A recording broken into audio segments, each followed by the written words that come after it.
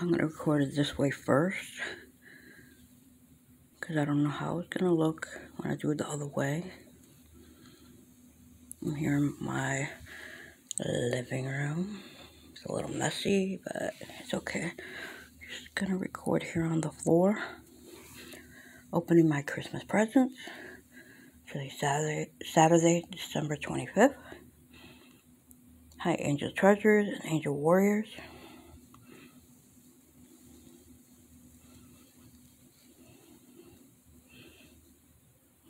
So I'm going to record it this way because I don't know how it's going to look.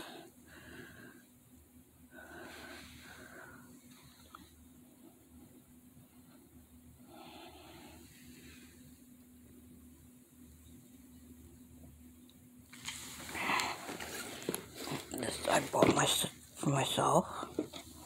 I bought a bigger one for my nephew Jaden. Hope he likes it. And I got this in Tiffany Park to make jewelry.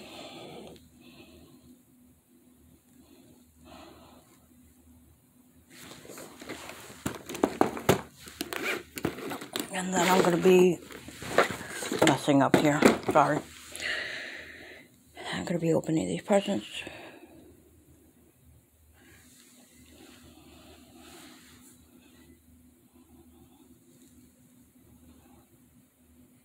These, I don't know if I got it last year or two years ago. Big boxes. I think in Dollar General or Family Dollar, I don't remember.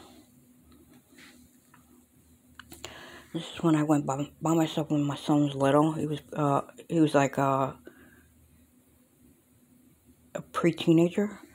He didn't want to go me places, so I went to see the Rockefeller um, the Rockettes, Christmas, I don't know, what you call it, but of the Rockettes. Christmas Spectacular, I think that's what it's called.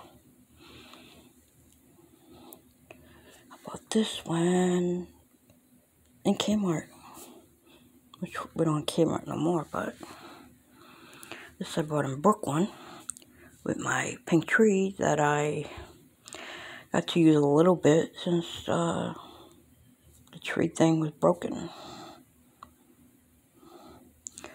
And Nutcracker, the girl, and the boy I got in Target a few years ago.